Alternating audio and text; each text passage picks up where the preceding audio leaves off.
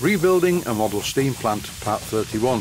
The piping begins, starting with the hand pump, rethreading PM Research components and joint sealing using Loctite 542. I've moved the steam plant up into the main workshop because I need to do things that I can't do in the workshop that's attached to the house.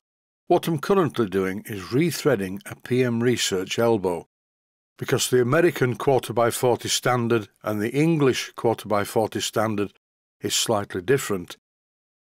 I'm running a quarter by 40 plug tap down into the elbow, which will put this matter right. That's because this is an English quarter by 40 plug tap.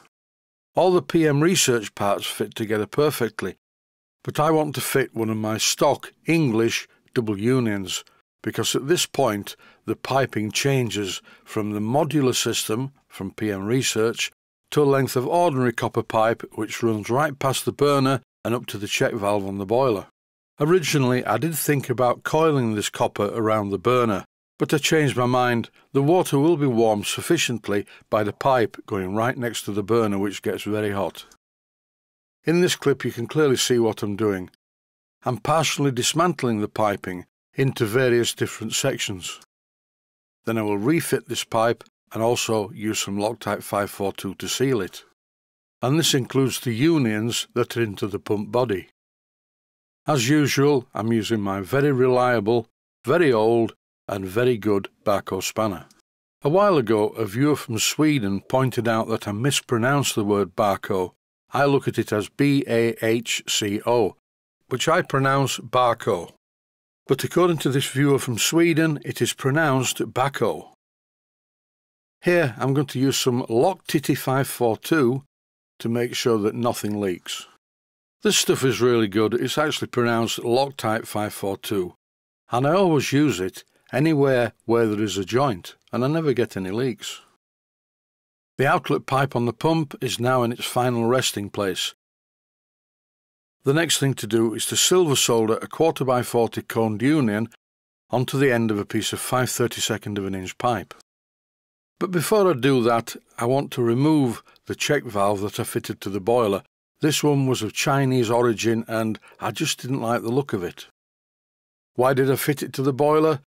It was the only check valve I had at the time that was threaded quarter by 32 threads per inch instead of the usual quarter by 40.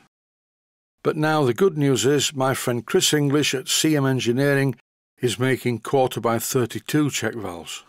And about half a dozen of these from Chris, one of which I gave to my friend James Evans for his Stuart 500 boiler that I also gave him a while back. I don't suppose there's too much wrong with this check valve, but when I blow through it using my mouth, it lets air through, and I really don't think it's supposed to do that. The check valve from Chris English doesn't leak at all, and it's physically smaller and looks better. It's all a matter of taste. Have a look at this image and make your mind up. I know which one I prefer. Anyway, back to the job. I tried a test fit in the boiler using the new check valve, but it didn't end up in the right position. Here's the hole in the boiler where the other check valve was, and you can clearly see some remnants of the last Loctite 542 that I applied. In my box of shim washers I found a genuine Stuart quarter inch shim washer, so I used that. I applied some Loctite 542 and tightened the part in place. Unfortunately, the Loctite 542 is a really good paint remover, removing the paint from the hexagon part. I'll touch this in with some black paint when the job's a bit further on.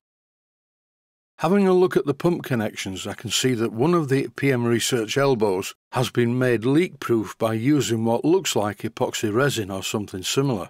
In a box of PM Research parts which was sent to me by a customer, I found this.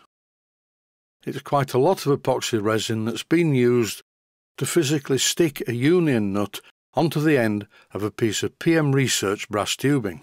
There are always different ways of doing these jobs. For the moment, though, I think I will stick to Loctite 542. It makes the job a bit neater. In the next episode, I'll be fitting the piece of copper piping to this fitting at the pump end and also the check valve on the boiler, but that's it for now. Stay safe, stay healthy. Thanks for watching, and I hope you found it useful. Please take the time to visit my Mainsteam Models website. And click on the section of the website that says video playlists. And by doing that, you can find other videos that you may like to watch. And by using the playlists, you can actually watch the videos back to back.